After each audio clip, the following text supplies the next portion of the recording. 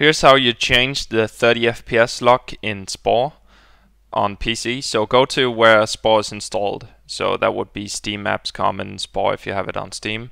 Then go to Data, then go to Config, and then in here, uh, open up Properties in Notepad, scroll all the way down, and add this line right here, property frame limit ms 44 int. So that will be in the description, but add that, and then go to Config Manager and scroll all the way down to the bottom add this line as well. It will also be in the description and remember to press save.